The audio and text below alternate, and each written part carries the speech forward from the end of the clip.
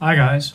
This week I'm actually going to recommend um, a little nine minute audio clip from uh, Anchor FM, and it's from uh, Mark Hatmaker and his Rough and Tumble Raconteur podcast. Is it a podcast? I don't know. It's brief. A lot of his stuff is very brief. Uh, the title is Counter Grappling BS, and here I think he explains incredibly well why the idea of, oh, I'm facing a grappler, I'll just do X, isn't a very good idea, and why you need grappling skills in order to counter grappling. It's worth a listen. Check it out.